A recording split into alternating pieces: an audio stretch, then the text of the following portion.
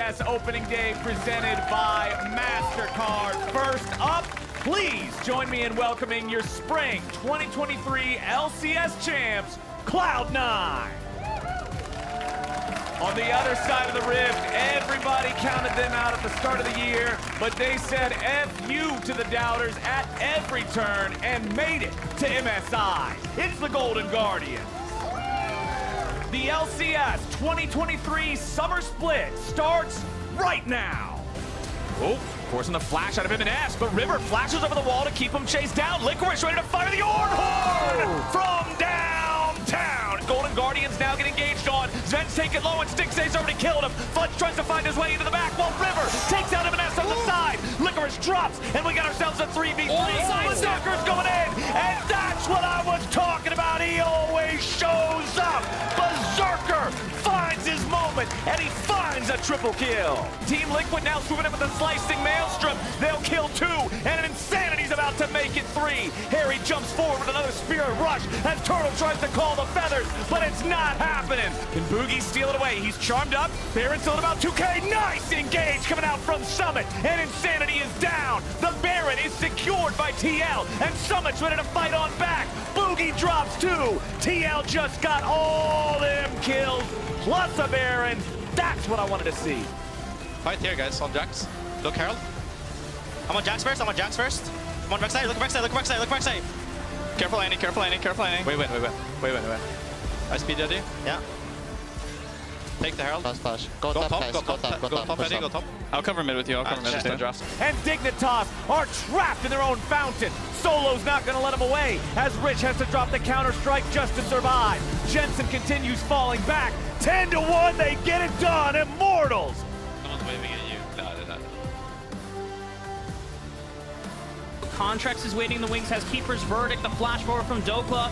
Call of the Forge God, but our Nice man flashes over, interrupt. and nice interrupt from JoJo. The body slam denies the ultimate. Palafox is teleported oh. back, but the jungler's already JoJo! dead, and JoJo is absolutely smurfing this fight in the river. Double kill for the mid laner. Hi, JoJo.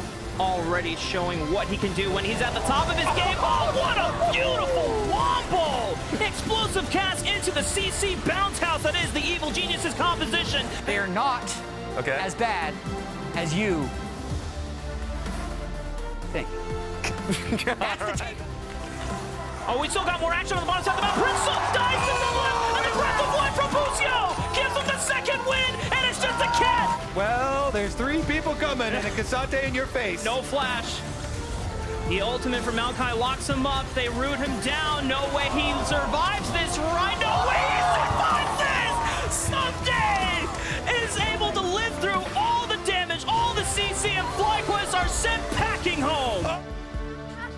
Good defense, better offense. Hello, welcome Man to Open man down. presented by MasterCard. Uh, we're having some fun here at the lounge. Welcome back, everyone. As you saw, that was day one of the LCS. Now it's uh, coming in for day two. How you guys feeling?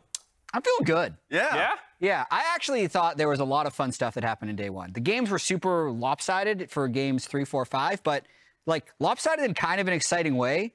We weren't expecting to see like really good games from EG and really good games from TL, 100 Thieves? Hundred Thieves. Was C9? another- there's literally three. There's literally three, and Immortals. Oh, Immortals. Yeah, yeah. Yeah, yeah. Yes. Both revenge teams.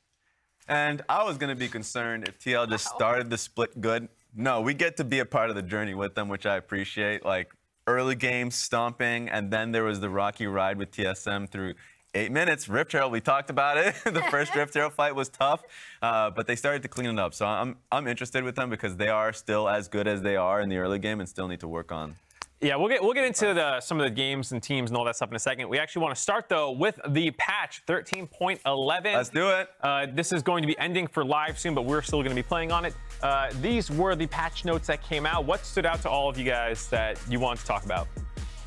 I want to talk about Ivern. We haven't seen him, You think we're good? but but I think so. Here's the thing. I think pro players don't want to play Ivern.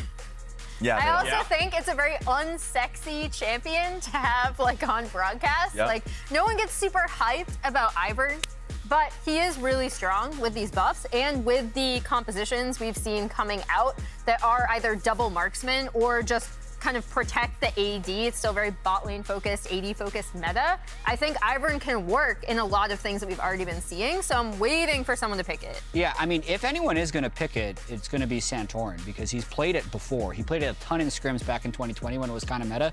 Daisy just mauls people now. Yep. Yeah. Yeah. And he actually is pretty good at the champion. So if the oppor- you're not going to blind pick Ivern, but if they end up holding jungle, I could actually see it literally in game one. Wouldn't be bad to see either for Dignitas to try and like throw a curveball. Like maybe. a Rek'Sai. There it is. They tried No, the wait a Rek'Sai. also got buffs. Uh, Yeah. It didn't work out. No, uh, for me, the item changes, I think, around the marksman role, the Kraken Slayer getting super buffed. The games were super stompy, so you didn't see any of these like late game Kraken Slayer melting tank opportunities because there were some like double tank frontline things. People were building Kraken Slayer, but all the games were like 10k gold leads and didn't feel like it mattered. Yeah. But it is like interesting itemization choices, I think, coming in that position right now. Yeah, we're definitely seeing a lot of different itemization, especially with Kraken Slayer getting a buff. So that's nice to see.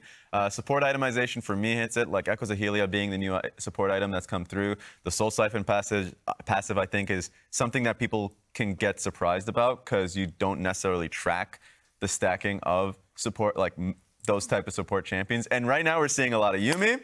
we're, see- we're seeing a lot of Milio. And just in general, Enchantress supports, including Lulu in the LPL, which is a, a, a support that's being played a lot there. Shirelias, though, baby. Who cares about Echoes after the nerf, man? Give me, give me. I'm just saying. Shirelias. It was looking good, but yeah, Shirelli has, has always been an option, but it's just nice to see. I want to also see more Statikk Shiv cheese. There it is. Let's go. You said it. I've seen Statikk Shiv Zoe. I, you know, our producer was showing me Statikk Shiv LeBlanc earlier today. Yep. Statikk Shiv Twisted Fate. There it is. You build a second item, you clear waves. You've been playing too much ARAM, man. You're APA, like, APA from TL Academy did Statikk Shiv Twisted Fate twice, and he's like 22 and 2 kills deaths on it. I saw Static 2 Shift and 0. GP as well. Uh, people were talking about that. a Really? Little bit. Yeah. So yeah, just do it's it. a cheese thing. Just build Statikk Shiv. I want to see it. It's just wave clear, man. I, I am all for cheese builds. Uh, speaking of cheese, it's not really cheese anymore. It would have been Yeah, back no. in the day. But Emily, uh, what do you bring for us to talk about today? Yeah, so uh, yesterday we saw that Neeko was permabanned on Red Side. This is a clip that I'll talk over. It's essentially Yagao, if you haven't seen this. This was still on 1310. On 1311, Neeko has such a high presence. She's almost always banned on Red Side. Yesterday, she got through in one LPL game, uh, and a team that should not have won against JDG actually ended up winning that game. So it's not just cheese. She's incredibly strong. They were joking at this point that Yagao just takes his hand off the keyboard. Um, but yeah, you see it. It's coming. Here's the payoff. Uh, but yeah, Neeko is broken. so if you were wondering why she has God. this insane uh, like ban rate, especially on red side, uh, because you do not want to give that up to your opponents. And I'm not sure why you'd ban him on blue side. Like just pick it. Um, is really insane, and it's because she can do stuff like this.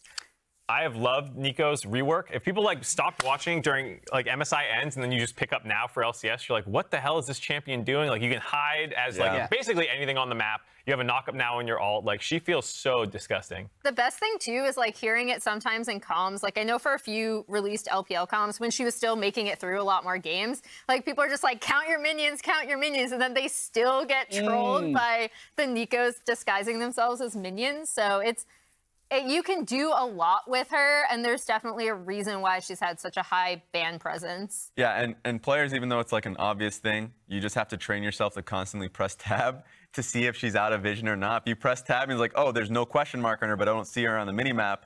She is she is there. I just don't know if she's a minion As or not. what? So that's one thing. Uh, but yeah, also she got like pretty absurd AP ratio change on her ulti from 100% to 120%. So like there's One shots you. yeah. so the team fighting is easy. The laning phase is also easy to also just wave clear. So there's the simplicity of it, and then there's the complexity of just dealing with her uh, as she's like, as you can tell from Yagao, turning into something. Just different. build Night Harvester on everything. The little green orb for the proc of Night Harvester stays. Unless they patch that out, but it used to be there. There's your pro tip. Just build Night Harvester on everything to find the Neeko. It's easy mode. Uh, the other thing to talk about is Milio, a new champion that came out. You, you Jatt is brain broken? What are you Well, I'm just trying to think like what would you build? I, I have this really. Someone was telling me about the on hit Neeko that I want to just like feed with, where you just be a cannon minion and you try and take fights. Like it's not going to be good. You hope a fight breaks out near a cannon minion that you can disguise as. Yeah, or just a double cannon minion. Like if it's going to work, it's only going to work in the lower brackets of League of Legends. Charitable term there, the lower brackets. Uh, and the other thing to talk about is Milio came out. We saw a lot of Milio getting through uh, the ban phase, a lot of Zeri bans, but the, or excuse me, Yuumi bans, but then a lot more Milio, and Doublelift looked incredible paired up with it. Yeah, I mean, here you kind of see uh, why you would take the summon Aery into the Yuumi because it's just going to kind of continuously proc. I think a lot of the damage that caused Prince to flash there was actually just from from Aery procs. Um, Or you can go Guardian. Uh, Milio is insanely strong. His kit has heals, what? Heals, shields, CC, And range. and range. Yeah. And, Yeah. Also, And a- and a cleanse. And a cleanse. Yep. For your whole team. about That Yep. AoE cleanse. So that's beautiful. That's nice to see. But yeah, uh, a lot of the times you'd expect him to be weak in lane, which is the case, but we're seeing him being picked into Yuumi a lot. So the area is Yep. being uh, chosen, and so he's turning into a bully, uh, as you can see from the Lucian uh, clip. So I was wondering for a while why we were seeing some Lucian bans, but I was like, oh yeah, Lucian Milio. Even though we haven't seen it as much because they've been banned or taken away a lot with uh, Lucian Nami games, that is a terrifying duo. All right, moving ahead to look at some of the teams. Like we promised, we're going to do Yeah. a segment that we kind of did yesterday called Heat Checks, running Yeah. with LCS Fresh. It's actually not hot in LA these days. It's like cloudy because global warming or something. I don't really know what's going on, but we're still going to I run think with a it's bit. like El Nino or something. Is it? I don't know anything. I hear it's going to be. Actually, El Nino. I don't know, it's gonna be People say really El hot. Nino for everything. I that's a know. joke. Yeah, it's going to be really hot in like two months. All right, well, we're not there yet, but we're still going to do Heat Check. So we're Yeah. going to go through a couple of the matchups and say how good we're feeling about them. Jet, you're up first. Okay. Get in there. Oh, the metrics are different. TSM and FlyQuest. So Ooh. I will say, I'm going to come at this differently than a lot of you will. Okay. How do you know? So TSM is going. to Well, war. I'm gonna. Things are gonna make so much sense once I'm done that maybe you'll just all copy me.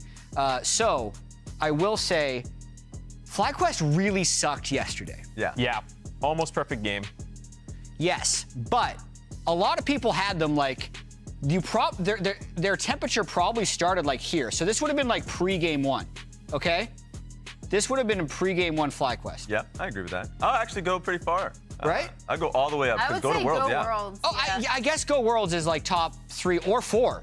So that would have been like yesterday. Yes. right?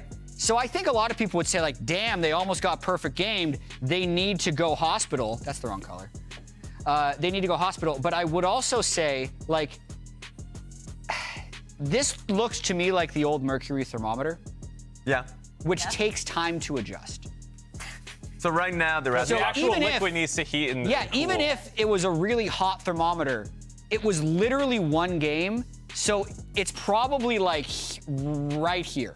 Okay. That's you going to be my they're going current to Worlds? check. I mean, honestly, yes. So yeah, I mean, it's Literally one game. This is one day of overreactions. You're saying Yeah. that that's don't don't I lose faith yet. yeah, this is how the thermometer has moved. So we're going to move to TSM now. There it is. Yeah. I would say this is probably how they started. It's still about So this there. is like their day one heat check. Yeah. So they're checking out of the hospital. I think I want to keep them right there. All right. Well, They you need a thought little about more it. time in the room. Yeah. Still that in was the about- hospital. That was about the temperature check yesterday. Okay. Yeah. That makes No sense. disagreements. no, no, disagreement. I, I think I, you're right. I don't disagree. I mean, I'm with really good at this FlyQuest- game. FlyQuest Right. still go Worlds. Yeah. I mean, that's what it looks like for the, the current heat check. Yes. Yeah. All right, Emily. All right, I you're up am. next. I am gonna copy you in terms of like what it was going in, right? Okay.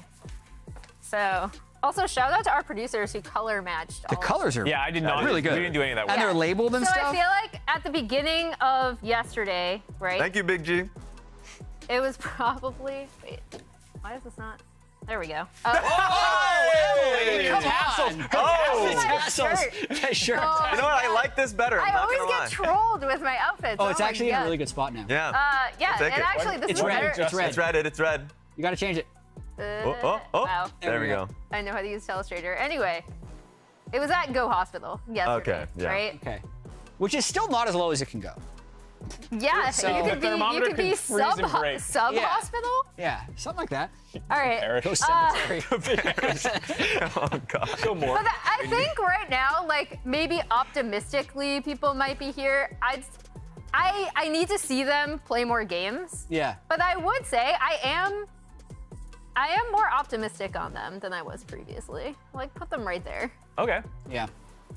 We're so agreeable. NRG, I won't be. Get, I, I feel like people middle of the pack is kind of high, honestly, compared, or maybe that's just an optical illusion. I feel like people probably put a, would have put them middle of the pack or like here at the start of yesterday. Yeah. Yeah. Yesterday was uh, not good though. were they the perfect? there? So who got perfect game? It was NRG, right? Or Yeah, Yeah, it yeah, was NRG. yeah. Yeah, there was a bunch of potential perfect games that were off by like one kill, one turret, one Rift Herald. Yeah. NRG actually got That was the perfect, perfect game, game. by EG. Yeah. Yeah. Fourth one in the franchise era. Yeah. So yeah, now. I would put them like. I mean, I still think they're gonna end up middle of the pack. Maybe like move it one down, but like I feel like this is still a pretty. Obviously, they got perfect game by EG. Yeah. It's one game. I, I would keep them there. Here, I'll put IMT back up to. What was it? We're we're kind of in between like Go Hospital and there. This is So a there. close game. So yeah, Th- This is going to be. I had a hard time being like, who is actually going to win this game based on day one performance. All right, not bad. Who's up next? All right, that's on me. What do you got for us? Which teams? Golden Guardians and Evil Geniuses. So I'll, I'll, I'll, I'll clear this one up just to see what we end up getting here. Bam! Oh, that was clean. Okay. So Evil Geniuses, we did Golden Guardians, and the, I guess the question is, did I change my take? Did Jatt change my mind? Wow. Uh, just be dig. Did No we big Look at not- me deal. dig. yeah, did we Grab not color. have a That's a little color? insulting. I will say. So is it the same color? I think so. It's gonna be a little too yellow. Raz, just match your colors next time. What to match my right. colors? Do your- do your what am. I supposed to do? Okay, I I am not changing my take. They're going to Worlds. I think. Whoa! Wait. What? Oh no, I actually had them fourth. Who'd you have over them? 100 Well, then, then they can. No, no, I had them going to Worlds. I had them third. I had them third. It, was- it was a tough one. I remember that I had that conversation, but I had them going to Worlds. I am not going to overreact. They faced Cloud9. It was a tough one. They had an early game lead. They stay where they're at here going to Worlds. Uh, and yes, due to the mercury on a typical thermometer, Yeah. that's going to take a while for So you'd say like adjust. losing d- in 26 minutes is like, yeah, that's still the hottest temperature on the thermometer. yes. that your analysis? I'm not changing based on What one could've game. done yesterday It's that would lower also that temperature? game. It's C9 who they routinely lost to, like It's also in dep- almost every Yes! matchup. Depends on how you make the thermometer, because it could be hotter, but the thermometer is all the way filled up. But like if you start heating it more, it'll just turn to a gas. Like maybe Cloud9 is actually gaseous and not liquid anymore, because there's been enough heat. I just disagree Wow. that it's the They're hottest close. possible They temperature after a loss. I think so. I think so. I, you're overreacting. You overreacted on the last one. You're overreacting on this one, and you're a known Golden Guardians hater. I'm putting that out there. you know. You're saying they're the best. They're not the best. They're going to Worlds. Anyways, What let's go on to the next one. like? We're going to the next one. Evil on. Geniuses. I actually would have had Evil Geniuses initially here. Around Go Hospital to the middle of the pack. Uh, they perfect gamed. I, that's different now. And they have great players. Bot lane was incredibly strong. We saw the solo kill uh, that happened there bo- um, because of Unforgiven. And then the top side of the map was great. So UnJojo performed. If JoJo performs this way, Whoa. yeah, yeah. They're almost going to Worlds. They're They, they almost might They're go to almost Worlds. there. It's going to be a heartbreak. They're gonna have to play Europe in the fourth seed. Are I like is the sound of Mads that. at? JoJo's good in those matches. Yeah. I like the He sound has of a that. great history versus Mad Lions. Successful. does. All right. Successful. So that is my take on that one. All right, I'm coming up last. I got 100 Thieves versus TL. All right, catch. Like, I need to lean. I'm not in the way, right? Nice. I don't know. They do camera magic. Okay, cool. All right, 100 Thieves. People think I hate them. Do you? Do you? No, I'm a believer now. Whoa. They're going. They're going to Worlds. What? Am I overreacting? Who So can hold say? One game You're of data. overcompensating. I follow the data. Wait, There's didn't- one game of data. They were amazing. sixth? That's like 130 degrees. Yeah, like I said, phase changing. They're turning gaseous. It's starting to like maybe the thermometer is going to explode. They looked great. FlyQuest was everyone's like second seed, third seed. They destroyed them, and they What did if- it with Nukeduck mid. He played great against FlyQuest. He was supposed to be our world's bound team. They had their whole lineup there. What if Quid comes in and messes everything up? Oh no. That'll Then be a new data point, and maybe it'll cool down. situation. Inexperienced. Jet, I stuck the thermometer in game one, and it came out scalding hot. What do you want me to say? It's a one-game sample size. All right, okay, you commit. Okay. I agree. Thank you. Team Liquid. Uh-oh. eh, Oh, that's still pretty high. Whoa. Oh no, my I'm- god. I'm trolling actually. Let's go back down. Oh. Nope. Ah, did, Oh my god, he's messing up. I fell for it. Yeah, they're still here for me. I think like it was really cool to see them win that game, but you saw a lot of the exact same problems you saw last split, which got them Yeah. eighth. And even if they do slightly better, that's still middle of the pack. Like even if they should be here, we're talking like, all right, maybe you're more fifth. it was really scary to see against TSM. They get these huge leads and they're still losing dragon fights. They're still not setting up around objectives correctly. Like it seems like the same team that we saw in spring. Doesn't seem like very much has changed. That's where I'm at with these Yeah. teams. Wow, that's pretty doomer of you. Okay. What? Yeah. One game sample size. Yeah. You guys keep trying to like say how the thermometer's changing and like your your liquids are all like take forever to heat up. Hey. Mine, mine, I stick it in, it comes out. Well, you have one of those new thermometers. That you pop in your for like two seconds, pops out temperature. it's like yeah, you got the you got the turkey in the oven. Yeah. You stick I it got. in, it I have out an old thermometer. It takes like two minutes. I don't think they were. I, when have you guys Yeah, last used a mercury did they thermometer? It's not that slow. I have not Oh, they are it in slow. Are you talking about the electronic ones that you stuck under your tongue? No, it's a mercury. It it doesn't use electricity. Okay, I was just making sure because I'm pretty sure the mercury thermometers are relatively fast. It's got to be like two minutes. I, someo's gonna correct us on this. Yeah. Someone tweet at How one of us. does it How take long can we just have Link, link a? YouTube video about a mercury thermometer. Oh God! All right. Uh, well, we're gonna take a look at some more teams coming up in the first, but we're not. Oh, Three to four minutes. What? Three to That- four minutes. That's what our producer is Our saying. producer I have It's stuff that's not super appropriate. That there does seem very slow. Yeah, I Yeah. think it was three to four minutes if you put it like under your under your armpit or like in in the nose. There's another spot you could put it that's much faster. It, he, That's he true. said, he said mouth though was three to four. That's close, true. Your, close your mouth. Three to four Sorry, minutes. I'm We're not doing butt. We're doing armpit or mouth. All right. Okay, yeah. Get yeah. your mind out of the gutter. we're done. We're done. We're done. The doctor wanted it faster though. the doctor's got a lot of clients to get through. There's 10 teams. He's checking fast. All right, we gotta get out of here before we say something unhinged, more, more unhinged than we already have. We're not the only ones conducting heat checks. Here's a look at Jensen answering some spicy questions. you played on a decent amount of teams, right? Throughout your time, you got a lot of experience with a lot of players throughout the years. And a big part of that is scrimming. Some of scrims are good, scrims are bad. Who would you say is the number one griefer in scrims, either on your team now or throughout the people you played? Okay, number one griefer. Yeah. I think. I think this is an easy one actually. Really? Yeah, I think. Um, I think Rush takes this one. Okay, why was Rush such a griefer then? Um, I feel like at a certain point he just didn't want to be in NA anymore, so he was kind of just like. He was kind of just there, going through the motion, and uh, Yeah. yeah, it was it was not the not the best. Asserting dominance, I know that he doesn't die, but I did it for fun.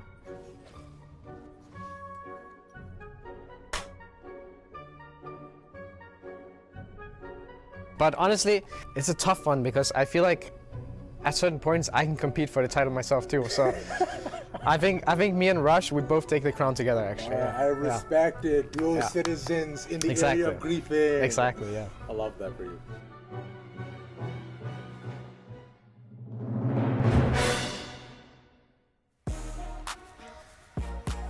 Well, thank you very much, Dignitas, for sharing that one with us. Here are the games for the There's- rest of the week. There's got to be more to that video, right? Yeah, I imagine there's a Yeah. longer cut Okay. of that on their YouTube Yeah. or Okay, Twitter. good. Check that out. I like how Jensen acknowledged his own contributions to the award as well. Yes. It's very honest of him. I think we've all uh, we've all griefed at different points in time. True. if, you, are trying to say you haven't, Yeah. that can't be right. Yeah, I I love the honesty there. and Good on Ravish get to get those questions, those answers out of him. So here are the games today. Like we were saying, Dignitas C9 kicking us off. FlyQuest versus TSM. Both of them want to bounce back from day one. 100 versus TL. Undefeated currently. One of them has to lose there. We got Energy versus IMT. Golden Guardians versus EG to end the day. What are you most excited about? I'm looking forward to games three to five, Yes. just Yeah. because I think I'm gonna. I mean, I'm gonna clean up in predictions. We're, we're not there yet. Oh, no, yesterday, this guy. yesterday I did clean up in predictions. This guy. I always. I was not cleaning up. You got four one. Yeah. Yeah. Four out of five. Raz, what did you get? Let's not talk about that. Okay. Half as many W's. yeah. Uh, yeah. Anyway, I think it's gonna be a good day. All To be specific, I'm going for Golden Guardians EG. All right. I think EG uh, surprised us yesterday, and they could surprise us again. So I'm looking forward to that matchup. Definitely a good one to see. We're going to start with game one, though, and just talk about Cloud9, how good they looked in their first game back, beating Golden Guardians for what, like the ninth time in a month and a half, going back to the finals, then at MSI, and then again on opening day. We need to track this for It's sure. been a while. we need to track this. It's a lot of wins. How'd you guys feel watching them? I actually felt like I, I, I got the chance to cast this game. I felt like they had a very slow start. I thought Emenes had a pretty poor game. I heard he was a little bit tilted afterwards, but they need to be able to bounce back in a big way because I think uh, their comp turned on for sure in the fights that we're seeing right here, where they can just kind of fly in, with Zeri Kindred. Blaber talked about how OP Kindred was. He was farming well. But like there was a lot of moments early on in this game that were a little dicey for them and I think could have led to a much harder game. Yeah, I really love this composition. I I liked their composition actually a lot better than Golden Guardians because for the flip side, I thought it came to a point where Golden Guardians lead just wasn't going to be enough Yeah. regardless against what C9 did. And I really liked the double marksman. I loved seeing Blaber on Kindred. I thought it was super fun. Yeah. Um, and this is the kind of thing that this team can do, right? Like they're very flexible. Um, I do agree, but I also think that the slow start, uh, individual performances aside, could also again be more comp based as well when Mm. these two team compositions meet each other because we've also seen from C9 them go for super heavy early game. Um, and of all teams, I think they are the best in snowballing that as well. Yeah, there are elements of that uh, within the game, like with bot lane falling behind, the early invade from Drax, of course, getting level two over Kindred. There are things like that in which is like, okay, compositionally, that was the reason for that. Um, there were some just flat out errors with uh, Kindred going over wall, trying to get a kill on Huhi, and then getting like picked off. So they made mistakes, and I think people need to recognize that. But they find windows to just open the game up. And that one is, for me, like quintessential C9. Like the second dragon that they, oh, the first dragon they picked up, which was, oh, bot lane's behind. They lost a wave off the base, but that means that when they come back to lane, they get the push. Kindred immediately um, says, okay, let's just start dragon because that's our opportunity. We can get something out of it. And so Cloud9 is a team that's actively thinking, actively challenging you, even when they're behind. And that's something, those are like moments within the game where you're like, okay, I appreciate that because there's not a lot of teams that can challenge them to get them to fall behind early, compositionally or off their own mistakes. So that's a positive of Cloud9 that I like seeing. Yeah, I think Jatt's a nitpicker. I think that was a, a good game out of C9. Golden Guardians had good games against them in the early game a lot of the times in their Yeah. matchups. Like Golden Guardians is a good early game team, so I have no problem with them. We'll see now, looking at predictions, if people think Golden uh, Dignitas, excuse me, has any other chance against uh, C9. Did anyone? Another golden team. 99. 99! Who's the one? Who's the one? Who's the one? That's really high. This is only day two, technically, that we've had the Wow. percentage fan vote on. That's stream. a record. Oh, It is a record. Out of two days in 10 games so far, that is the most certain fans have ever been. I don't think we're ever going to see 100. We're never going to see 100. I think we might see 100 later on this There's always that one guy in the chat or who is ever voting. You're just looking at them, it's like, are you really Yeah. doing this? Wow. I thought I was going to be so hipster with my games four and five predictions, but I'm just following the pack. Yeah, you are. Every, sheep. the interesting thing to me is every single one of us in these final three matches picked one that the other three didn't, right? Nice. So like you picked TL over Yeah. 100. Um, I picked uh, EG over GG, and then Raz picked IMT over NRG. Yeah, I, I like the faith that you guys still have in energy after yesterday's games, but I really think IMT this looks like a different team. And the one thing that I was surprised about was Balulu playing well on the RA pick, like playing really well. I was like, Yeah. okay, that for me, my biggest question is like, how can he do on the meta champions? And I thought he did really well. So uh, they're just a different looking team right now. All right. I want to see Santorin play Ivern. I want to pull this back. I want to Let's see him play go. Ivern. He's good at it. All right. It's good. Jatt's calling this pick. He thinks Santorin, if they want to beat Cloud9, if they want that 1%, That's their- it lies yep. with Ivern, the brush, mm-hmm. The great brush flex maker, pick. brush master. Support, jungle, No, mid. just, just, jungle. pick. Jungle. Stop that. We're going to go to the casters before Raz gets more unhinged. Let's head over for game one. 80 carry. I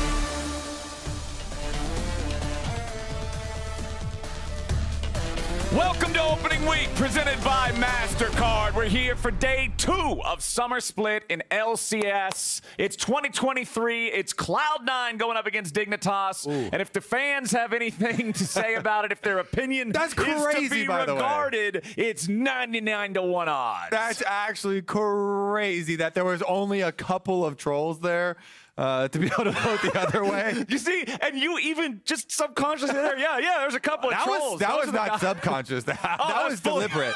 that was very deliberate. Our producer, though, five seconds before we just came on air, producer just decided Dignitas, they're gonna shock the world right now. Here today, me, you, flowers, we're gonna be here for it. Dignitas, they're gonna shock the world. Was Zeus the one fan?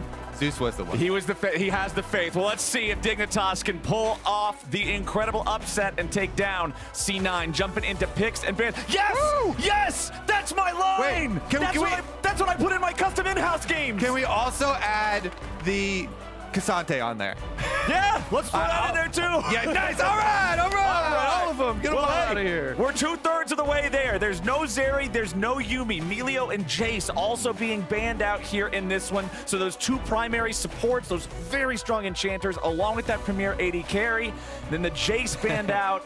We got the Blaber fans here as well. That's one thing. The analyst desk was discussing the buffs to Ivern, uh, and Ivern's solo queue win rate did skyrocket. However, Ivern very prone to getting invaded on his first clear. In pro play, that is a giant liability. Yeah. And against Blaber, if you're gonna pull it out in pro play, I was like, okay, you know what? I'm actually here for it. I- I'm down to see some Ivern in a very good spot, as they were saying. Uh, Daisy super buff, but do not do that versus Blaber. If you pull out an Ivern now, it better be a solo lane. Well, one of those staple junglers that often gets played, the Vi, banned out by Dig, and one of the new age terrors of the Rift, Neeko, banned out last ban of the first phase by C9, uh, locking in the K'Sante. Kobe, I'm I just sorry. added that one. They They're didn't get not, the- They're not listening to No? rules. They're Okay. breaking the rules. Right. Rule breakers on the side of Dignitas. K'Sante locked in first. Surprise, surprise. K'Sante, the flex here, very, very powerful for Dignitas. You know, there was actually a decent amount of hype for Dignitas coming into this split.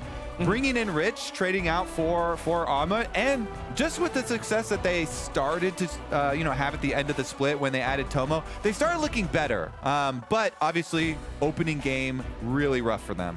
Well, I'd also argue in a lot of situations, K'Sante does seem like a flex. I would say on this Dignitas team, there's not much of a chance of it. You Remember don't see back- Jensen Remember back during the Ruination season when Viego's solo lane was just overpowered as all hell and everybody had to play it and Jensen Uh. just could not make it click? I feel like Jensen's much more about traditional picks in the mid Ah, lane and something like the traditional man. K'Sante. Yes, yes. I don't think it's going to happen, man. The traditional Jensen, traditional mid laner. Let's see what he's going to play into the Annie if he will decide uh, to take that K'Sante away. The Maokai, all right, that is a very solid front line, very solid team fight being set up here for Dignitas. Even though I do think that Jinx, if we're if you're transporting from MSI meta, Jinx got hit much harder than Aphelios got hit. Yeah. And so many more teams now on current patch are, are do prefer the Aphelios. Uh, I'm definitely included in that. We'll see how it goes here because Cloud9 also have the Lulu here with and with Yuumi and Milio both banned. That is that is so much scaling enchanter uh, extra DPS for you. So going by expectation with where the roles would end up, K'Sante top, Maokai jungle, Lulu support, and then Annie mid, we actually only have AD carries matching roles in the first half of the draft. So these second phase bans are not going to be as focused towards the smaller role pool that they normally are. Yeah, and whenever you do pick that, you know, one of these enchanters that's vulnerable to lane kills, usually we'll see the Blitzcrank ban, Cloud9 protecting against that, uh, protecting Zven. They've joked about it for a long time, but the any enchanter meta is a Zven meta. Uh, Yep. has, ever since he switched over to the support role, uh, and doesn't want to have to deal with dodging Blitzcrank hooks. There's just too much playmaking potential there, too much setup possibilities. Dude, I had a, a promo shoot one time for some content with Zven, and I called him my favorite Yuumi, and he just looked at me like I had personally offended him. So it's he's known for those enchanters, though, and they're going to ban out a second engaged champion with the Nautilus alongside the Blitzcrank. Dignitas targeting that jungle pool twice already, once with the Vi in the first half, now with the Wukong here in the second. Do they want to aim at another jungler, or are they happy with the remaining matchups? The last ban will be the Kindred. I like this going up against Blaber. Trinity Force Kindred is a menace. This, and Blaber's exactly the type of guy to play it. Yeah, Cloud9 are the team to do it too, with so many lanes that they can set up to be early pushers to allow Blaber to really go for a lot of invades, be super aggressive with that champion. So they banned out one of them. The tough thing with Blaber is, though, he has an insanely deep champion pool. Yeah. This man grinds constantly. Um, this is not going to be anything new. The Kha'Zix here is is brought back. There's some more options now on on uh, Kha'Zix um, with the with the Ghost Blade, with the Dusk Blade. So we'll see which variation he goes for. You you can still go for the the Conquer style. I very much Yeah. doubt that we'll see the Conquer style here, even though Dignitas are showing double front line. Well, I'm going to go ahead and flaunt that I got the prediction correct. It was not a mid lane K'Sante. Jensen does want something more traditional. He will lock the Ahri in against the Annie. And the final pick of the draft here for Dignitas, a little bit of protection in the bottom lane, along with some of that potential for the pick or the engage in the Thresh. Whenever I see Jinx, I want to see some kind of support that can provide some layer of peel, some measure of protection. And hey, that's what Thresh is going to accomplish. Yeah, Lantern's great for anyone who's isolated and is going to fall prey to that Kha'Zix.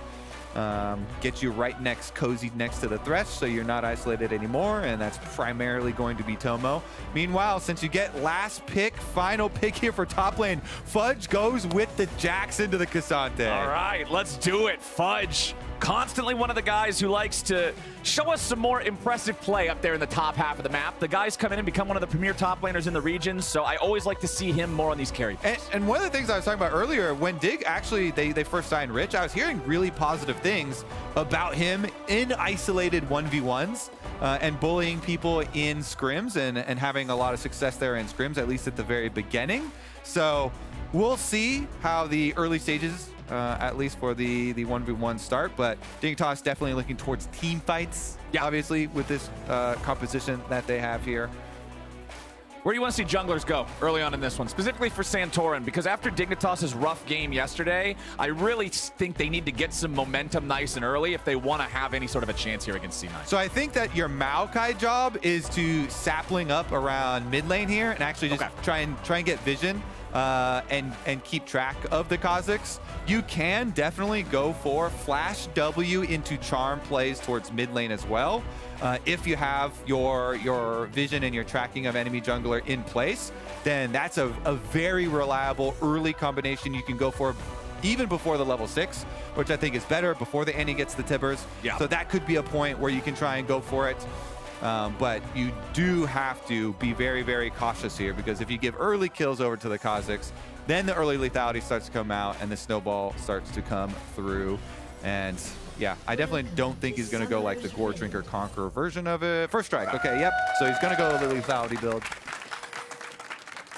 Well, let's do it. Dignitas versus C9, game one, day two, MasterCard opening week here in summer 2023. As Dignitas, let's see what we got here. Anything out of the ordinary? Cleanse on the Jinx, Ignite on Thresh. Other side, same thing. Cleanse there for the Aphelios, but the difference is the heal on the Lulu, taking a more defensive approach to things.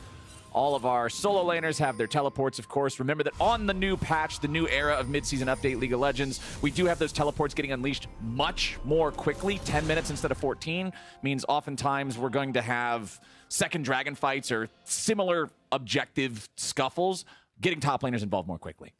I propose that we make it even more quick and we keep the timer running right now. So it's 10 minutes from when the game starts. Pauses don't detract from that time. So even though game time's not moving forward, the 10 minute unleashed teleport time. You know what you're doing? You're going to create a real life meta game where at the beginning of every game, some top laner just throws some crap on their keyboard and says, "Oh, we got to pause for 10 minutes. Sorry, guys." And then every Yay, time we got old teleport back! Yeah, then it's We just old it! teleport now. That's what we're doing. You got to be careful about that, man. These are professional video game players. They're gonna min max. Yeah, careful. Those top laners, they they want to get involved in the game. Yeah, they're tired of this island. They want to be rescued. this is some. Wait, what's that movie? It's not. hold- What's that? Castaway, starring Tom Hanks Yeah. and volleyball. Yeah, I remember that. I was trying to remember the name. All I know are memes from it. That I didn't actually see the movie. Well, I mean, that's the next best thing. So it rounds up, right? Like it's, Exactly. It's it's, it's 2023. The- I'm not missing the, The anything. memes tell the story themselves. But yeah, we have some kind of a settings issue. I'm not really sure what that means. Uh, any ideas? You want to just guess at it? We don't really have any game to talk about right now, so Uh, I I'm gonna go with uh, they're ready because I see them in chat already typing out the R's. So whatever setting issue it was, it was quickly It was resolved. fixed. Okay, good. Maybe it was just the graphics thing, or maybe it was in like some screwed up resolution. You know, my most controversial setting that I use is I max the mini map size. Oh I, yeah. I make it cover it covers You have up. grandpa size. Yeah. I, I max it all the way as big as I could make it so that I have perfect map awareness. And it's funny looking, but it actually worked. It helped. Wait, what if the devs added an option that you could like click a button and it would make the mini map just be your second monitor instead? Would you use that? Yeah, sure. Okay. bigger is better, Flowers. I'm down. All right. well, Even bigger. Hey, devs, if you're out there listening and you don't have anything better to do, which I highly doubt, how about a full screen second monitor mini map and we can call it the Mega Map? And we can like partner with one of those widescreen curved uh, manufacturers so that we can Yeah. even get it on one of those. Man, Get it circling around behind you. This is sounding like an incredible business opportunity already. But down here in bottom lane, things are as they usually are at level one with these Jinx versus Aphelios lanes. Couple auto attacks traded back and forth, and that's about it. You can see potions being chugged by pretty much everybody. And yeah, I mean, Yeah, I saw little a melee push drops uh, as you were Dig. talking. I s- wasn't going to say anything, but you know, it's it's looking a little rough down there. It's going to be uh, opposite side clears for for junglers too, though. Uh, and I like this here. Santorin just going to do Maokai top towards bottom uh, since he's got the K'Sante. K'Sante is always fine getting pushed in uh, because you actually do uh, have a pretty easy time keeping up your CS there, even under uh, a decent amount of pressure. Plus, when you're towards your uh, tower, you can often threaten setups with your Q3s. People have to be a little bit worried about you flashing on them, getting that knock in if, if your jungler is around too. Even pre six, but mostly post six. And I feel like I have seen that play more out of Fudge than anybody else, specifically in LCS. Mm-hmm. So I would hope He's not that gonna get caught as by that. someone who's done it a lot, that he's aware of what Rich would be able to do with that. Mm-hmm. Jumps in for the counter strike there, but he's not going to land the helicopter attack. Rich can just step oh. back. Oh, Cannon in the dirt, my friend. unlucky. Six and zero on Jack's career. Has never lost while playing Jax. Well, it's looking pretty good to me right now for him. Yeah. Yeah, he forced Rich to, to miss that cannon minion, even though he does get hit by a Q3 here. He got the minion wave in. He cancels his early recall, though, just goes for the ward drop and has Blaber on top side, just to make sure Blaber will be able to get his coveted Scuttle Crab. Very important. They should be traded. Bottom side for Dignitas is helping Santorin get their bottom one, and Fudge goes to push in the remnants of this wave with the little bit of mana he has left. Yeah, he's almost entirely Oom, but so is Rich, so he's not terribly worried about it. Obviously, K'Sante does have the ability to cast spells from very low mana with the Ntofo strikes only taking 15, but not enough to really threaten a Jax. As you can see, Santorin here in the bottom lane, hanging around, just clearing Krugs. It's not like there's much of an opportunity for him to gank Berserker or Zven right now. He will throw one of the saplings into the tri-brush as he makes his way forward here. Now, if Berserker and Zven step up, maybe there's a chance. Or maybe he just hangs out in the brushes. Maybe- Yeah, hovering here. I'm not sure. Yeah, it's, it's going to be a little bit for the recall here for uh, for reset for Blaber too, and uh, Rich did a good job quickly dealing with the pushed in minion wave. He matches the teleport there for Fudge, so both top laners right back out to it. Um, and the Cassante, even though he getting pushed in a bit, does not lose out on tempo. Well, one thing I'm noticing here about the difference in buys between those top laners, one bought a Ruby Crystal, the other bought a Sheen. Much more power there in the Sheen for Fudge, so I expect him to continue having a great time in that 1v1 as long as junglers don't get involved with it. Down in bottom lane, Tomo and Diamond still just chilling. A big story, I think, for Dignitas getting to start off here in Summer Split is having Tomo over Spawn because Spawn had a really rough spring, and you know the state of the meta as well as anybody does. It has been very AD carry focused for a very long time. Made it hard for Dig to be able to really find wins there, and their AD carry was struggling. Maybe Tomo can have a better shot at it here, getting to start with the team from the very beginning. But right now, Berserker and Zven have control over the lane. Yeah, Berserker and Zven have been doing a pretty good job here uh, with the chunks they've been getting too. Something that Berserker was doing a couple seconds ago. You see him use his Infernum gun when he has a splash damage, splashing it off the range minions. Now they're gonna go for the dive off that, soften up. They jump in. Tomo's got 100 HP. Blaber flashes in to get the first blood. Final turret shot's going to take him back as Diamond stays alive. Berserker and Zven both very low on HP. Got to be careful about this one. But They- super, super worth it for them Yeah. be- because you're trading, even though you have to flash for it there for Blaber, double summoner spells down on Tomo, and Tomo doesn't get any of those minions with the built up stacked minion wave that was pushed into the tower. So those small chunks we were talking about, Berserker getting onto Tomo, leaving their mark, softening them up, and allowing for that dive. Oh, Fudge really going in here. I oh! said Fudge. Don't do it. I said Fudge. You know what he does. I said Fudge. I mean, Fudge knew what he was. Fudge knew what he was doing. He wanted that kill, but Rich with the outplay there gets the ultimate off. He dodges away just out of distance, and the W goes onto the range minion under tower. Oof. Rich, th these are the things we've been hearing about for for scrims. Where in the in the one v ones, he's he's had some spectacular performances. He outplays Fudge, but Cloud9 still they're very happy with this play uh, because of the extra minions that do go uh, to waste here. If the Jinx is not farming them, very, very, very much worth it for them. And of course, the Summoner spells will mean that it is a vulnerability here. So Fudge, with this big chunk he gets on him, pops his ultimate. He wants to go for the ultimate plus into the W with the extra damage, but Rich, he ults him over, then dashes further away, and Fudge with the auto onto the minion. Yeah. Oh, he, yep, he knows that one was an error. I, I'm glad he immediately just goes back to laughing at it like, oh, come on, I knew that was going to happen. Anyway, we already got the fight breaking out. Emenes here on the front, level 6, Annie being focused down, Diamond grabbing the kill. Dignitas get that one, but they lose Tomo in trade. It'll be a one for one with C9 having the better health and C9 getting themselves the Drake right after. Yeah, everybody's laughing, but uh, top lane, you know, that, that was a that was a solo death. It's okay, the team's got it under control. They they they previously dove bottom. They're gonna get the objective still stacking, and it's looking quite good. 65 to 47 CS down on bottom side too, with Tomo currently in base and the minion wave getting pushed up to tower. You have to think Berserker probably going to be able to get a turret plate on bottom as Jensen gets a turret plate in mid. Yeah, Berserker with the white gun. It's going to be two here.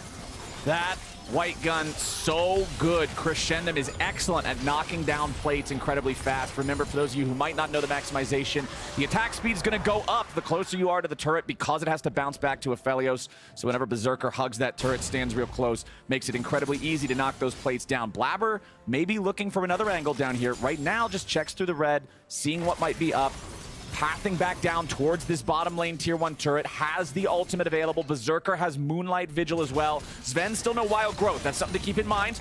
Diamond and Tomo going to be the focus here.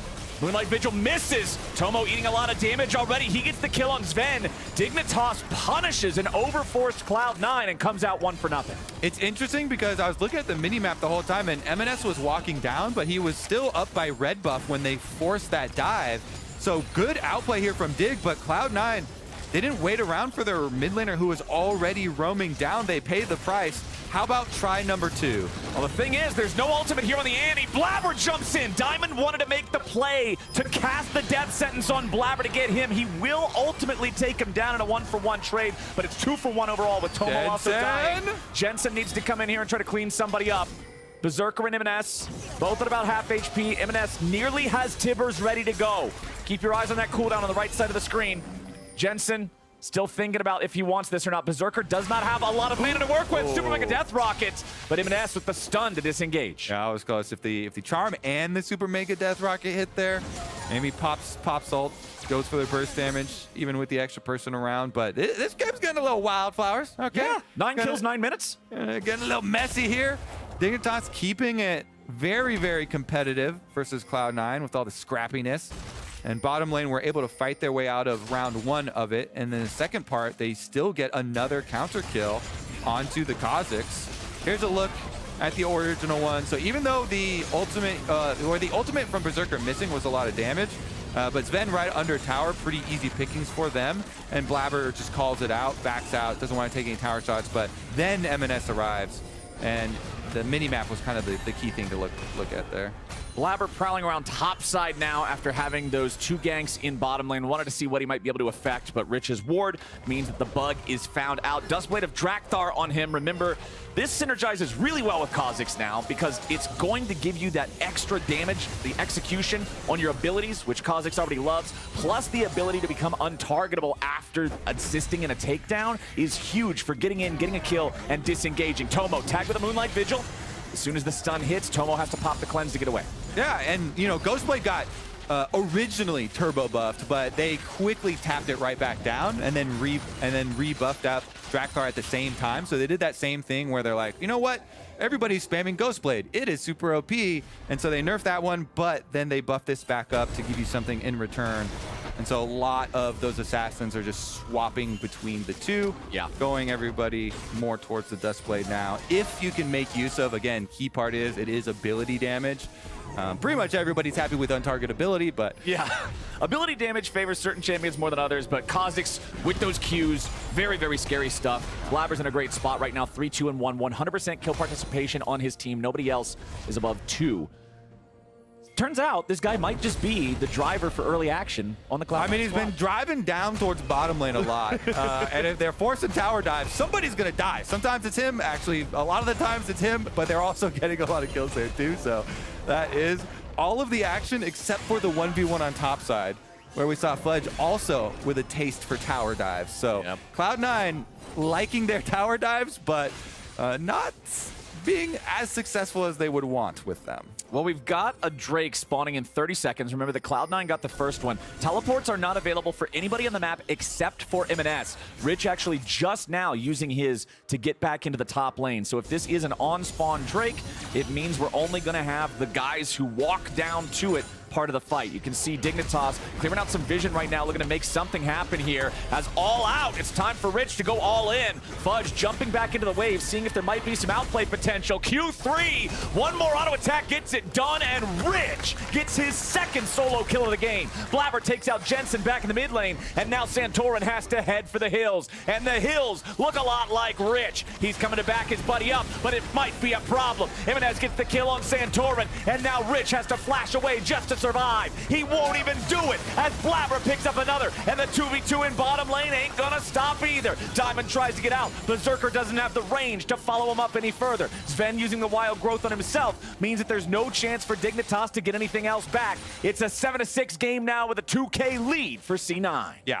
Blaber and top lane both keeping this game bloody. I feel kind of bad for Rich because he had a really, really strong kind of tree of decision making there. He was on Iceborn Spike to just the components at the time of the 1v1 there with Fudge. So he forces, after getting back with fully completed Iceborn, uh, onto Fudge, and he hit that Q3 as the counter strike stuns him. So the Q3 still got out, and he still got the knockback on it, and he gets the solo kill onto Fudge with really good choice of timing to take the 1v1 due to the item spike, but then also execution in it.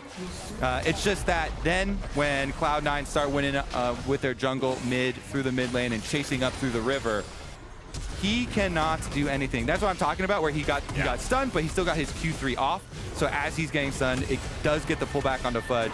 And you see the, the slow field on the ground. The Iceborn is completed. At that time, Fudge did not have his uh, Divine completed, so that was that one. Then, meanwhile, it was the mid-side play where Emenes holds his stun until Blaber gets there, and then you get the big surprise, any stun into Kha'Zix, surprise from Brush, with his Dustblade already complete. He does so much damage right now.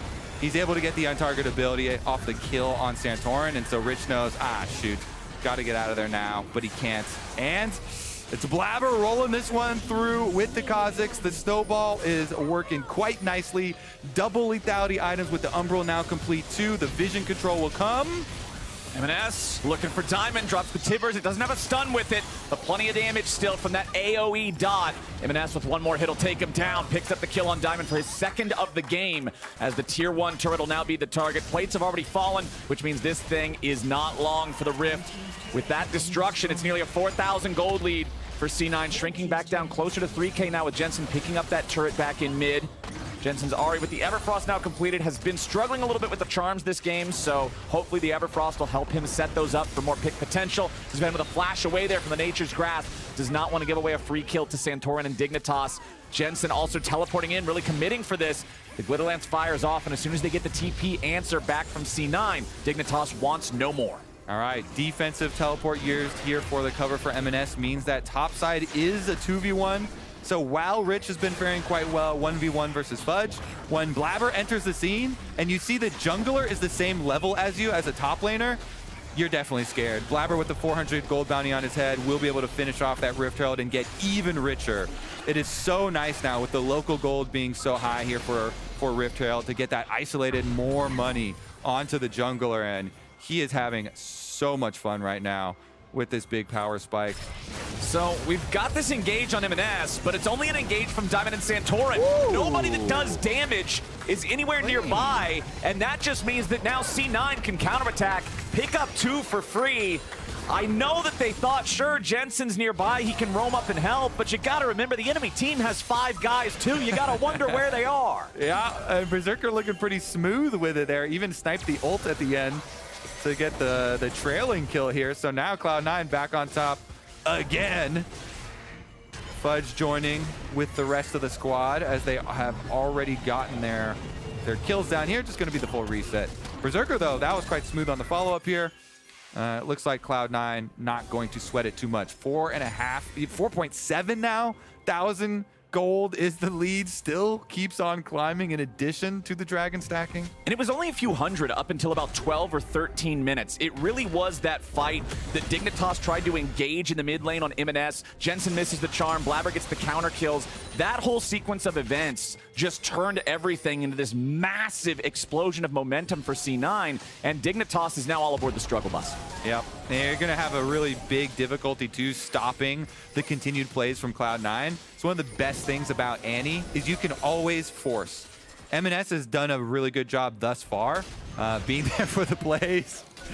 Uh, a little vertical jump here from Santorin. Yeah. Um, meanwhile, it is now at level 11 Annie with Flash and Proto Belt ready. So, so much mobility on the champ, plus the rank 2 for Tibbers. So that engage from Cloud9, you do not want to be within a screen here uh, of any plus any champion because there's so much damage on Cloud9. Everybody can follow up on him. And anyone who gets caught in that stun is going to be toast. So, all right, Kobe, what's the plan here for Dignitas? Because right now it just seems like Cloud9 is running over the entire Rift. They're going to be up over 5,000 now with this turret falling in top lane. Berserker picking that up. Blaber is just completely unassailable in almost any situation unless it's 5v1 and he has no ultimate. What do you do here for Dig? Well, they got to just huddle and try and play defensive until Cloud9 make another tower dive int. That's okay. that's what we're looking for. Uh, throw under tower, maybe that happens. Otherwise, you're just trying to sweep out your own jungle is your only hope of like catching maybe a Blaber face check or something like that. Uh, but you do need one of those things handed to you because if you're if you're in range of Emenes, look at that. He's so bold, he's to proto belt under your tower at you with two people there to see if Tomo will flinch.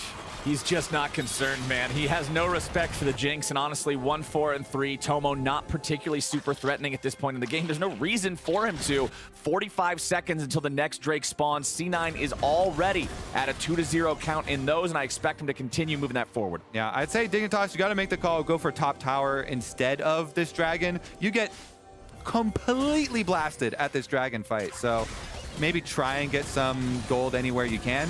Good call here from Cloud9, though. Of course, they're uh, very well aware of the position that they are in with so much control, and so they send Emenes to the top side to stop that possible play. And the reason that it's Emenes up there is because he has the teleport ready. You can see that cooldown in the top right there. Fudge is still just a little bit off of having that Unleashed teleport cooldown, so they want to make sure that if Dignitas does try to commit everybody to this dragon fight, make some sort of a Hail Mary play, they can immediately respond with their own man across the map. But right now, nobody else is required. Blabber's so far ahead. Kha'Zix is so good at killing these things with Q Evolve that he can just take the dragon out by himself. You can see with our perfect spectator vision, nobody from Dignitas Dignitas even wants to go into the same quadrant of the map as this thing. So no challenge there. C9 move on to Soul Point. And that's uh, simple self-preservation flowers because uh, it's uh, far too dangerous to go anywhere near those Cloud9 members for Dignitas. So those basic instincts kicking in, you know, stay safe. Yep. and maybe, Always go with a buddy. Maybe your opportunity will present itself. Santorin going in for that opportunity right okay. now. The Nature's Grasp fires out. They wanted to go for Fudge, but he can back away. Now Emenes shows up. He flashes forward, and he just kills Tomo underneath the turret in the middle of the rest of Dig. He's got a stopwatch still, too. So that's why he's so bold there. Actually goes right back in. Still has his stopwatch on the Annie, even though he uses his flash to, to get that kill on the AD carry. Cloud9 still pushing, though, and with the W evolve here too from Blaber. He can also lend that extra support with the. AoE. Man, oh man. I like that Dignitas at least went for something there. They saw maybe there's an angle to catch him underneath the turret, like you were saying, but they just don't have the damage. They're too far behind. Yeah, exactly. That those are the opportunities that you are looking for, though. So I agree with you. Like that they, you know, took their shot there. Santorin trying to get him even further under the tower and hoping with the extra tower defense and damage they might be able to do something. And Santorin finds Emenes. He's got no flash. He's toast. He should be down here. There's no world where he gets away. Where's the kill gonna go? Rich picking up the shutdown. Emenes getting his second death this game. Okay, can they get the top tower objective bounty shutdown then too? You love to try and get full value and actually get objective bounty shutdowns out of these plays, but they want more kills. Blaber now being found by Santorin and Rich, but he can use the ulti to get back to his team. And now with Wild Growth and Fudge coming in from the side, they can re-engage. All out takes Fudge over the wall and brings Rich back to safety as Santorin and Diamond disengage off to the side. Fudge now finding himself alone still, but re disengages back to his team. You've still got Blaber back here fighting. He's trying to chop down the tree, but Diamond puts him on a leash. Blaber, however, is absolutely running wild, and Berserker takes down Rich. Tomo and Jensen want to get away, but that bug is hungry. He goes in for the damage. He gets a double kill. The turret shot's going to kill him through the Duskblade. It's an absolute fiesta of a fight, but it's C9 partying hard when it's all said and done. Yeah, it's a bloody fiesta flowers, and I love it. Cloud9 will be able to get the arrow, uh, the Baron in the aftermath here. Love the the vitality, uh, you know, they're they're playing the game with, uh, and and the bloodlust here, but it is a little bit too far. Dignitas, Cloud9 are just so fed right now, and they go on Blaber. He's got the spell shield, so he's able to get the Q into ultimate back over to his team. He chunks up, softens up two people, and Fudge sees the angle to try and go for it. But then Fudge very deep here off the ultimate from Rich. They try and finish him off. You called it out. He was able to kite back to his team. But in the left side of your screen there that we weren't following on live, Blaber does finish off his kill on the Diamond and chase Santorin basically back to the fountain, only being at 200 HP, and then allows Blaber to come from behind the turret to make sure they can't escape. And even though he does go down to the tower, he gets one, and Berserker cleans the other one here with Jensen dying as well. And as you said with Blaber, when he goes in, somebody dies. A lot of the time, it's him. And there, it was him again. But the prize is a fight where you get way more kills, and the rest of your team gets the Baron even without you. C9 now going to have that Baron for the next two minutes. Their soul spawns much faster than that, only a minute and a half away from now, as Blaber can get away over the wall. Yeah, he's jungler higher level than everyone on the opponent team, Flowers. That, uh, that in this day and age, that is that is A a, mega statement. Yeah. If this was like season six, I'd be like, yeah, what else is new? Sky's blue. He's having some fun, though. this is absolutely the Kha'Zix highlight game here for Blaber. Edge of Night, Umbral Glaive, Duskblade, Last Whisper also in the inventory for increased armor penetration against the tanky targets of Santorin and Rich. Teleport from Emenes down into the bottom lane to join up with Berserker and Zven. Apply some three-man pressure here while Fudge splits back in mid and Blaber hovers between the two looking for opportunities. Yeah, he's hunting down here. Just passing be- through uh, through the vision, trying to keep the extra territory ready for Dragon Spawn, because this will be the Dragon Soul. 29 seconds on the clock, and Cloud9 slowly making use of their Baron buff here while they wait for it. Yeah, they just want to try to force down these tier twos if they can. Blaber jumping over the wall, finds a lot of burst onto Jensen, but cannot kill him off. Jensen disengaging back as Rich has gone all out. He's ready to fight, but it's Tomo killed off by Emenes. Santorin trying to take Berserker with them, but the shields, the reinforcement, the peel coming up from Zven. It'll finally not be enough, but now Jensen's stunned up.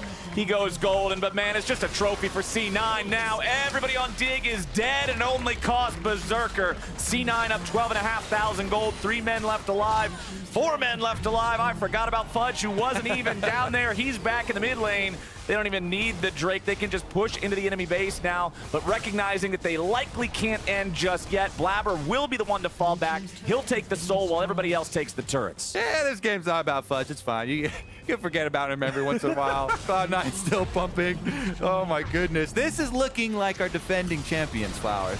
This It truly is Cloud9 time. They're going for Berserker here, though. Dignitas, eyes on the prize. Rich started out. He died. Santorin tries to follow it up. Diamond tries to follow it up. In the end, they do get their kill. They got Berserker. Aphelios down. It is going to cost them everything, though. It's a Pyrrhic victory. They got it done. Everything else was lost in the process. It's now a 13,000 gold deficit. Dignitas does not have any realistic chance to win the game any further, but I want to see what they might still be able to do here. I mean, damage dealt in the last team Wait, fight. they forgot to put Fudge's damage. Yeah, Fudge, Fudge, Fudge rolled a donut, but that's all right. The rest of the team, 10,000 between the three other carries there on the side of C9 as the combination of all five players on Dignitas, I'm not sure if it hit 5K or not, and that's just the difference in money, right? That fight starts with a 9,000 gold lead. It ends with a 12 or 13,000 gold lead. Yeah. It's a bit of a mess. Yes, sir. All right, Cloud9, level 16 acquired for Blaber. Juicy, juicy, juicy evolves here for the the, bug with. He has been the star of this entire game. It has been fun. Cloud9, though, the base is open in there. Look, oh, teleport behind for the flank. Okay, they want to engage on C9 here. Rich is the man who's all alone. Trying to use the unstoppable there. The Pathmaker, all out's going to take him through the wall while on the backside of the fight. Blaber has gone in and found Tomo. Dignitas's plan has been completely routed, and Berserker's going to look for more money now. He shoots down Diamond, and C9's already found both enemy bottom laners. Santorin and Jensen and Rich all having to retreat as Fudge goes in, and he's looking to serve up dessert to K'Sante. C9 trying to get this one done nice and clean, and they don't even gotta try very hard. Jensen with another stopwatch, another Zhonya's, another stasis, trying to keep himself alive here in his own fountain. But if that's your objective in League of Legends, you know the game's gone wrong, and Blaber's gone wild. C9, 25 to 9, 27 minutes in. Start off their summer split 2-0. Defending champs starting off pretty nicely here in summer. They got some uh, some new jerseys, some clean looks, and taking care of business. Our first game is just a warm-up, Flowers. Yeah, these guys, I mean, obviously, it was heavily expected for C9 to win this one, giving the, given the estimated strength of both teams here. I was pretty impressed, to be quite honest, with the first 12 minutes from Dignitas, keeping it as close Yeah. as they did. Yes, there was also some goofy stuff from C9, overforcing some of those dives. Bottom lane, like you talked about, Emenes wasn't even there left. Even there yet, they just left it and said, all right, let's YOLO. But Dignitas was able to punish. Dignitas kept it close for a while. It's just, man, once Cloud9 found that one opening, game was gone. Yeah, I, and I specifically would call out Rich looking looking quite good, getting these kills onto Fudge. Yeah, the first one was tower dive, but uh, being able to outplay it there, and maybe they'll be able to cook something up for top side. A lot of top laners can relate.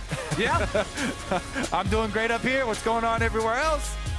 You can Uh, looks pretty rough. We are going to finish this one out with that teleport, though. Yep. The whole rest of the team is a little bit too far away, so he knows as soon as he arrives, Rich is running for the hills. But look at the bottom of your screen. Blaber, the true assassin, goes in towards the back, towards all of the rest of the members of Dig, and they just rip them apart. And that final level 16 evolution, the wings for the reset, gave him the confidence to just jump in, insta-pop the enemy carry, knew he could disengage, used the flash at the very end of it as well to avoid any sort of Everfrost lockdown. I mean, he's just, he's just so far ahead, man. I Again, I like the fact that Dignitas is saying, all right, Hail Mary, last shot, let's try to make a teleport play.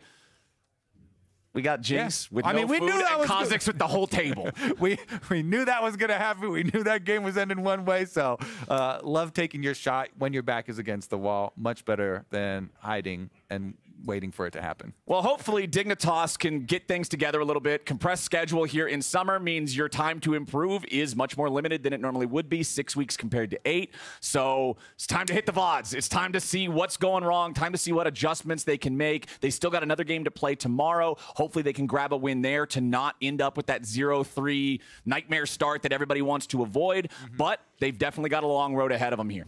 They certainly do. Cloud9, meanwhile, looks like their road leading back to finals already. the the, the road looks pretty clear. They can kind of see the end with the pace that they've been setting. Well, with this one all wrapped up, we're going to go ahead and toss things to a break, but stick around. We got TSM versus FlyQuest coming up next.